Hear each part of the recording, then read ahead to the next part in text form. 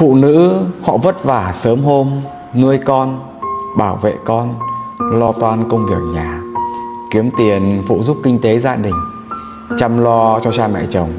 Nhưng tâm trí vẫn luôn hướng về cha mẹ ruột của mình.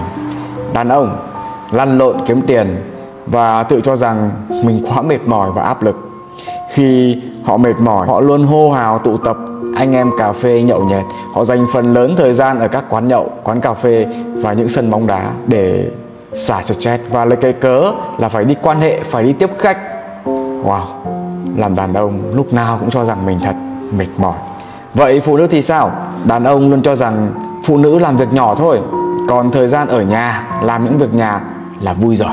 Không, họ cũng là con người. Họ cũng có đam mê cũng muốn được váy nọ, quần kia, cũng muốn được yêu thương chiều chuộng. Họ cũng muốn được xả stress như các bạn ấy.